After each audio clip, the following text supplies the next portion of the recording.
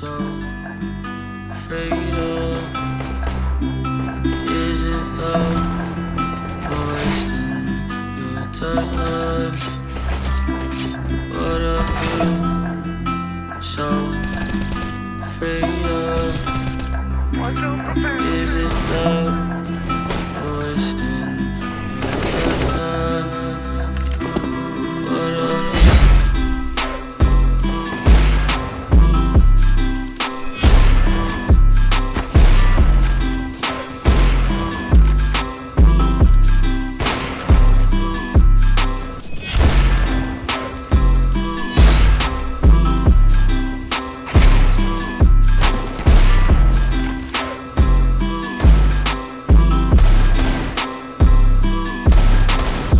Thank you.